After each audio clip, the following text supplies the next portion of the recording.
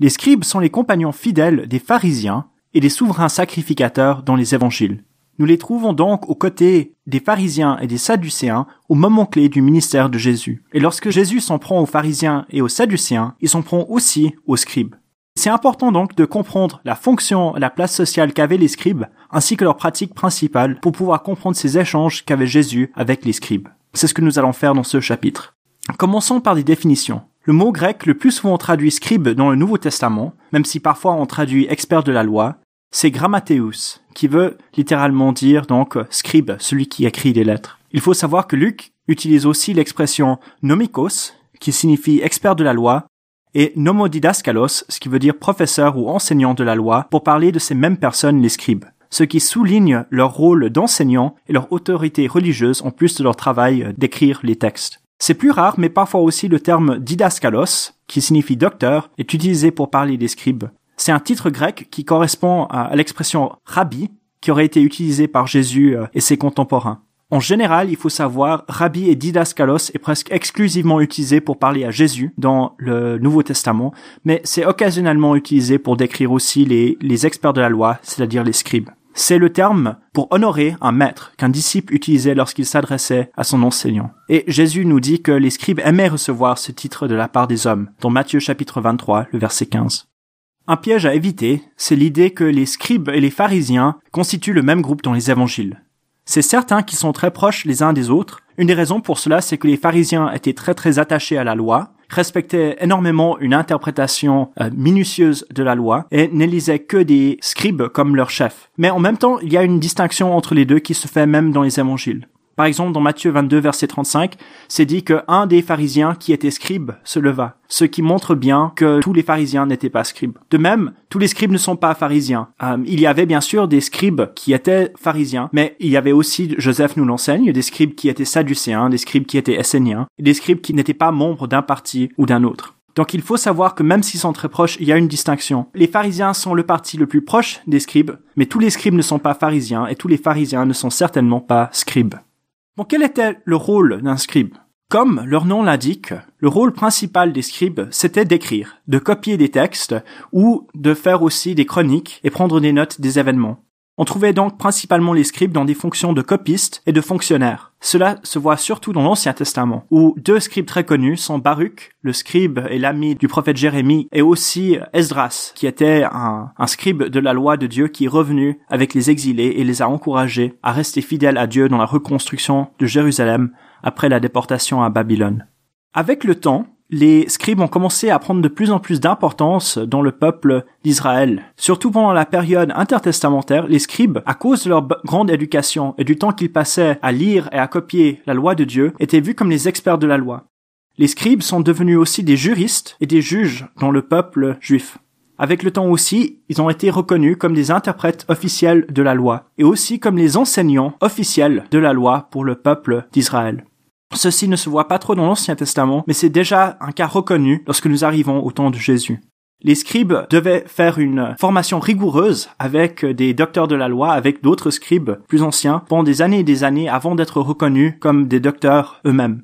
Une des transformations importantes qui s'est produite dans l'histoire des scribes entre la fin de l'Ancien Testament et le début du Nouveau Testament, c'est ce fait que les scribes sont devenus les enseignants de la loi au peuple d'Israël. Dans l'Ancien Testament, c'était les sacrificateurs qui avaient ce rôle d'enseigner la loi de Moïse au peuple et de leur montrer comment suivre Dieu. Mais pendant cette période intertestamentaire, les sacrificateurs ont pris de plus en plus de place dans la vie politique et beaucoup d'entre eux se sont éloignés de ce rôle d'enseignant. Ce sont les scribes de tout genre, pas juste les scribes qui étaient des sacrificateurs, mais aussi les scribes qui avaient d'autres formations et d'autres origines, qui ont pris cette place et ce rôle d'enseignant pour le peuple. Il faut se souvenir aussi que lors de la période intertestamentaire, l'activité prophétique avait cessé. Et puisque les sacrificateurs n'enseignaient pas vraiment la loi au peuple, et il n'y avait pas de prophètes non plus qui appelaient le peuple à la repentance, c'était le rôle des scribes qui étaient enseignants de la loi de parler pour Dieu et d'enseigner la volonté de Dieu au peuple. Les scribes sont devenus en quelque sorte les héritiers des prophètes et sont devenus la voix de Dieu pour le peuple. C'est pour ça que Jésus peut dire dans Matthieu 23 verset 2 que les scribes sont assis dans la chair de Moïse. Ils étaient vraiment devenus les représentants de la voix de Dieu pour le peuple. Le peuple juif était dirigé premièrement par les souverains sacrificateurs et deuxièmement par les nobles laïcs qu'on appelle les anciens dans le Nouveau Testament. Mais il y avait un troisième groupe, les souverains sacrificateurs, les anciens et les scribes. Et ce groupe de scribes n'était pas obligatoirement des nobles, ce n'était pas non plus obligatoirement des sacrificateurs, mais pouvait être n'importe qui qui avait appris à lire, à écrire et à étudier la loi de Dieu de manière rigoureuse. Et donc, il y avait cette troisième catégorie de noblesse qu'on appelle la noblesse du mérite, parce que c'était ceux qui avaient fait leur preuve par leur éducation qu'ils méritaient d'être des dirigeants du peuple. Au temps du ministère de Jésus, donc, les scribes reçoivent des places importantes dans la société et dans la synagogue et sont salués comme des gens importants et supérieurs. Les scribes ont aussi leur siège au Sanhédrin, c'est-à-dire le tribunal suprême des Juifs, principalement à travers le groupe des pharisiens, mais pas uniquement. Si on était scribe, si on était un expert de la loi, on avait cette possibilité de vraiment diriger le peuple au plus haut niveau. Et donc, quand on parle des scribes, on parle pas juste d'une profession, on parle pas juste de copistes, mais des gens qui étaient très très respectés et qui étaient devenus des chefs du peuple, des chefs qui pouvaient rivaliser avec les souverains sacrificateurs et qui pouvaient rivaliser même avec les nobles de Jérusalem. Lorsque nous regardons la relation de Jésus avec les scribes, c'est comme avec les pharisiens et avec les sadducéens, plein de zones de tension. La première chose que nous voyons avec Jésus, c'est cette tension entre Jésus et les scribes dans leur rapport à la loi. Jésus n'avait pas cette même attitude vis-à-vis -vis de la loi qu'avaient les scribes. Premièrement, Jésus va sous-entendre que la loi de Moïse est imparfaite. Si vous vous souvenez dans Matthieu chapitre 19 verset 8, lorsqu'on lui pose une question au sujet du divorce, Jésus va répondre que le divorce est admis dans la loi de Moïse à cause du mauvais cœur des êtres humains. Ce qu'il dit ici, c'est que le péché a affecté la formation de la loi de Moïse. Et cette attitude-là, qu'il y avait quelque chose d'imparfait dans la loi de Moïse, qu'il y avait quelque chose qui était affecté par le péché, et donc qui n'était pas aussi bon que l'intention de Dieu, ne se trouvait pas dans la pensée des scribes de l'époque. Jésus va même jusqu'à se placer au-dessus de la loi. Vous vous souvenez, Jésus déclare que les lépreux sont purs lorsqu'ils les touchent. Ça c'est entre autres dans Marc chapitre 1 verset 41. Jésus se déclare lui-même maître du sabbat dans Matthieu chapitre 12 au verset 8. Jésus déclare à ses disciples que tous les aliments sont purs, dans Marc chapitre 7, verset 19. Et Jésus va aller jusqu'à pardonner les péchés dans Luc chapitre 5 et au chapitre 7, ce qui choque les scribes qui sont présents. Dans toutes ces choses, Jésus a une attitude vis-à-vis de la loi qui est très différente de celle des scribes. Premièrement, il voit l'intention originelle de la loi comme plus importante que les paroles directes qui sont données, mais plus important que cela, Jésus se met au-dessus, se présente comme étant supérieur à la loi. Jésus n'oppose pas une autre tradition à celle que les scribes avaient. Au contraire, c'est lui-même l'autorité qui est plus grande que la tradition des scribes, mais qui est aussi plus grande que la loi elle-même. Jésus ira jusqu'à dire qu'il est le sujet et le but final de la loi de Moïse, dans Jean chapitre 5, verset 39 et au verset 45 à 47. Dans ce rapport à la loi, Jésus dit des choses et agit d'une manière qui est que choquante pour les scribes, qui avaient appris à vénérer la loi et à le respecter énormément. Jésus a un grand respect pour la loi. Mais par contre, il dit qu'il y a plus que la loi, que la loi n'est pas le, le but final de la volonté de Dieu. Jésus se heurte aux scribes sur les questions de l'autorité pour l'enseignement. Les scribes faisaient toujours appel à leurs enseignants et aux rabbins qui les avaient précédés pour justifier une doctrine, une pratique ou un enseignement. La question pour les scribes de l'autorité était primordiale. Les scribes ont dû travailler très dur pour avoir leur position et leur autorité dans la société. C'est une autorité qui est basée sur la tradition des anciens, qui leur a été transmise, et c'est basé aussi sur la renommée de leurs enseignants.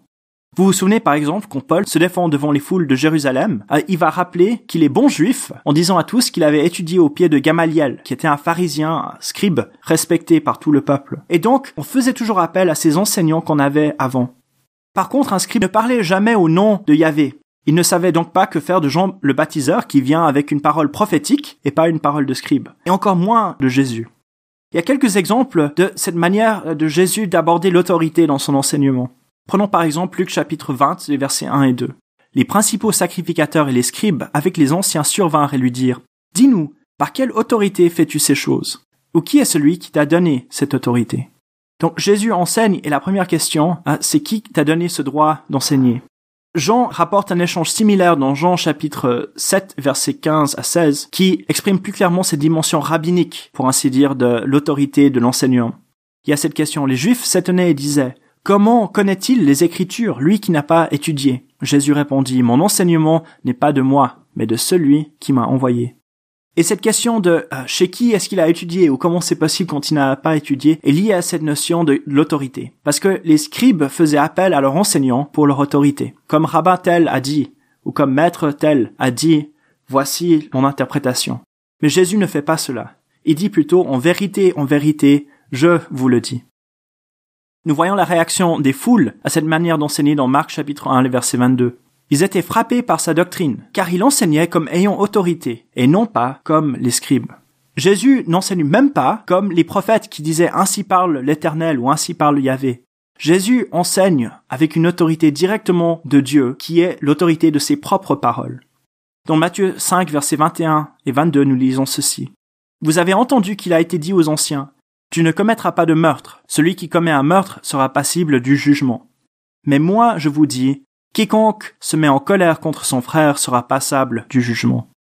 Ici, Jésus dit ma parole est supérieure même à celle des anciens. Et donc il y a cette énorme différence sur la question d'autorité entre Jésus et les scribes. Jésus refuse de jouer le jeu de ces scribes. Jésus vient comme prophète, mais il vient comme plus que prophète comme celui qui parle pour Dieu au peuple et qui a cette même autorité que Dieu lorsqu'il parle. Il dit la vérité et ce qu'il dit s'accomplit. Et les scribes ne pouvaient s'empêcher de voir cela comme menace. Eux qui étaient devenus la voix de Dieu pour le peuple, de voir quelqu'un qui vient avec une bien plus grande autorité et qui est reconnu comme tel par le peuple. Bon, non seulement il y a des conflits sur les questions d'autorité et de comment voir la loi, mais Jésus est en conflit avec les scribes au sujet du péché de ces scribes. Jésus fait deux critiques aux scribes au sujet de leur abus de leur position. Dans Luc chapitre 20, les versets 46 et 47, nous lisons ceci. Gardez-vous des scribes. Ils désirent se promener en robe longue. Ils aiment les salutations sur les places publiques, les premiers sièges dans les synagogues et les premières places dans les repas. Ils dévorent les maisons des veuves. Ils font pour l'apparence de longues prières. Ils subiront une condamnation particulièrement sévère. Et deux choses que nous voyons. Premièrement, ils considèrent leur position religieuse, la piété, comme une source de gain. Ils aiment être bien vus par les autres, ils aiment être admirés pour leur manière de parler, ils aiment qu'on leur réserve les premières places dans les lieux de culte, mais aussi lors des festins. Mais deuxième chose, ce sont des juges corrompus qui abusent des faibles. Comme on a déjà vu, les scribes pouvaient être les juges et les juristes. Mais nous voyons ici au verset 47 qu'ils dévorent les maisons des veuves. C'est-à-dire, ils sont en train de profiter de leur rôle de juge pour prendre les biens de ceux qui étaient plus faibles et ne pouvaient pas se défendre. Et donc Jésus annonce une condamnation très sévère contre eux. Finalement, Jésus critique les scribes parce que ils sont en fait des mauvais chefs et des mauvais enseignants. Dans Luc chapitre 11, versets 46 et 52, nous lisons ceci. Et Jésus répondit, Malheur à vous aussi, docteur de la loi, parce que vous chargez les hommes de fardeaux difficiles à porter, et que vous n'y touchez pas vous-même du bout du doigt et dit Malheur à vous, docteur de la loi, parce que vous avez enlevé la clé de la connaissance. Vous n'êtes pas entré vous-même, et vous avez empêché d'entrer ceux qui voulaient. Donc qu'est-ce que nous voyons ici? Premièrement, avec leur tradition, avec leur interprétation de la loi, les scribes avaient créé tout un système religieux qui était dur à porter. C'est un fardeau difficile à porter pour le peuple d'essayer de suivre toutes les règles des scribes. Et pourtant, il semblerait que les scribes eux-mêmes ne suivaient pas ces lois. Peut-être qu'ils avaient des traditions qui protégeaient la loi, c'est-à-dire qu'il fallait aller plus loin que ce que la loi demandait pour éviter d'enfreindre à la loi. Mais il y a une hypocrisie qui est là, parce que les scribes eux-mêmes ne sont pas en train de respecter ces règles. Mais l'autre chose, qui est encore plus grave, c'est que les scribes empêchent aux gens de comprendre les Écritures pour y voir ce témoignage de Jésus. Lorsque le royaume de Dieu vient en la personne de Jésus, ils refusent de le reconnaître et ils empêchent par leur enseignement et par leur opposition à Jésus au peuple de croire et d'accéder au royaume non plus. Et donc Jésus les condamne parce que ce sont des mauvais chefs spirituels pour le peuple. À cause de ces critiques et de la condamnation de leur mauvaise direction, les scribes vont conspirer avec les Sadducéens et avec les pharisiens pour le faire mourir. Dans Luc chapitre 20 verset 19 nous lisons Les scribes et les grands prêtres cherchèrent à mettre la main sur lui à l'instant même. Mais ils eurent peur du peuple. Ils avaient bien compris que c'était pour eux que Jésus avait dit cette parabole. Cette parabole qui annonce le jugement et la condamnation des chefs des Juifs. Dans Matthieu 21, les versets 43 et 45, nous apprenons que dans ce groupe de scribes et grands prêtres, il y avait aussi les pharisiens qui étaient là. Et donc, il y a ces combinaisons des trois groupes, les sadducéens, les scribes et les pharisiens, qui vont comploter contre Jésus. Ah, ils ont rejeté le Messie, alors le royaume leur sera ôté aussi. Et leur réaction à, cet enseignement, ce n'est pas la repentance, mais de chercher à tuer le Fils de Dieu. Jésus donne les mêmes critiques aux scribes qu'il a données aux pharisiens et aux sadducéens. Il témoigne d'une profonde ignorance au sujet de Dieu et une incompréhension des Écritures. Ils ne voient pas, ils ne comprennent pas le plan de Dieu ni l'intention de Dieu dans sa parole. Ils ont rejeté le Messie de Dieu et par conséquent le royaume, et ils empêchent même au peuple de le faire. Ce sont des mauvais chefs spirituels du peuple. Ils ne, ne mènent pas le peuple juif vers Dieu et vers la vie, mais plutôt vers la perdition. Et de nouveau, comme avec les pharisiens et comme avec les sadducéens, les scribes sont pleins de péchés personnels. Ils se servent de la religion pour être glorifiés, pour avoir une meilleure place sociale, et ils se servent aussi de leur position de juge pour abuser de ceux qui sont faibles et ne peuvent pas se défendre. Jésus se met à dos des gens puissants, des gens qui sont capables de lui faire beaucoup de mal, mais il ne le fait pas par haine, il le fait pour appeler le peuple d'Israël à la vie et à la repentance.